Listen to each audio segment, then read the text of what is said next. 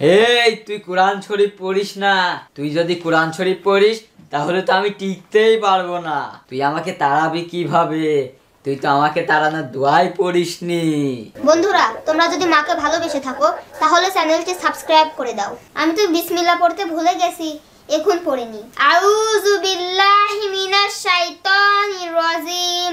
বিসমিল্লাহির রহমানির রহিম। আলহামদুলিল্লাহি রাব্বিল আলামিন العالمين. الرحمن الرحيم.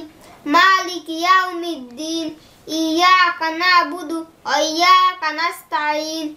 اهدنا الصراط المستقيم. صراط الذين أنعمت عليهم.